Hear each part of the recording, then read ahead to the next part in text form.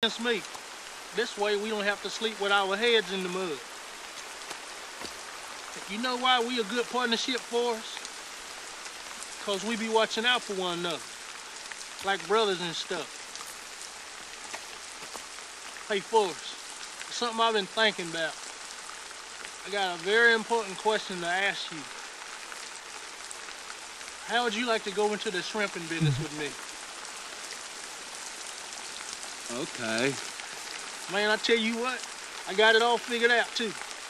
So many pounds of shrimp to pay off the boat, so many pounds for gas. We can just live right on the boat.